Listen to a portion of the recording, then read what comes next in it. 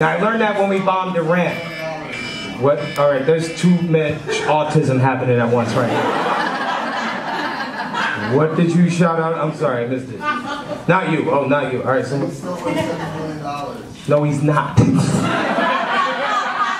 not worth seven billion dollars, and Elon is never gonna suck your dick. Stop being.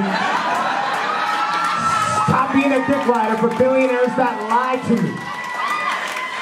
If he was worth seven billion you think he would have just sold a bunch of NFTs? Get the fuck out of here.